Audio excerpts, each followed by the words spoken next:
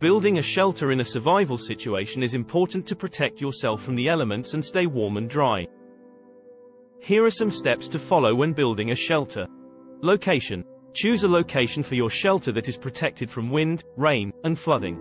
Look for a spot with natural shelter, such as under a tree or in a cave, or build your shelter against a large rock or cliff.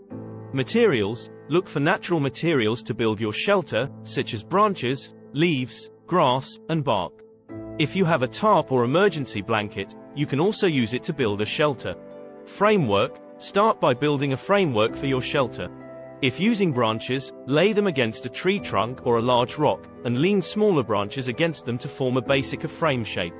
If you have a tarp or emergency blanket, string it up between two trees or rocks. Roof. Add layers of branches, leaves, grass, or bark to the framework to create a waterproof roof. Make sure to overlap the layers to prevent rain from leaking through. Insulation. Add insulation to your shelter to keep warm. Gather dry leaves, grass, or pine needles to place on the ground inside your shelter. This will create a layer of insulation between you and the cold ground. Entrance. Build a small entrance to your shelter to keep the wind out. Use branches or rocks to create a small doorway, and cover it with a tarp or blanket to create a door. Fire. Build a fire outside your shelter if you can.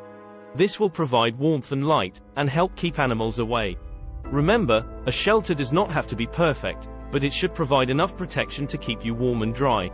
Use whatever materials are available to you, and always be prepared to adapt and improve your shelter as needed.